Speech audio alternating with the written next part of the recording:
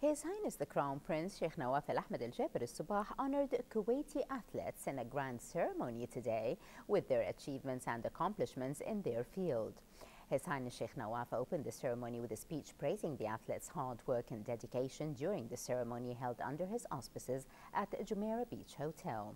Reporter Badriya Saleh brings us this report. The Badria Ballroom was packed as hundreds gathered for a special ceremony honoring Kuwait's athletes.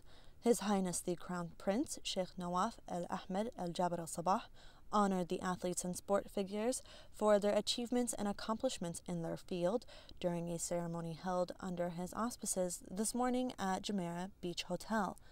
His Highness the Crown Prince opened the ceremony with a speech praising the athletes' work and diligent commitment to their passion. التهاني والتبريكات سموه لكم بهذه المناسبة السعيدة في ظل التوجيهات سموه الحكيمة.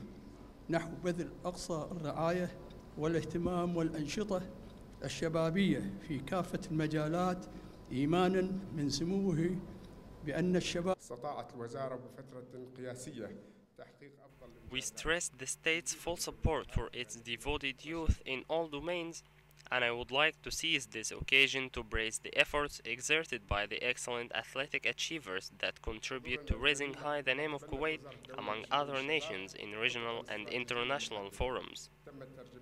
Upon his arrival at the ceremony's venue, His Highness Sheikh Nawaf was received by Minister of Information and Minister of State for Youth Affairs, Sheikh Salman Sabah Al Salim Al Humoud Sabah, Director General of Kuwait's Public Authority for Youth and Sports, also known as PAYS, Sheikh Ahmed Al Mansour Al Ahmed Al Sabah, and high ranking officials in PAYS and the organizing committees.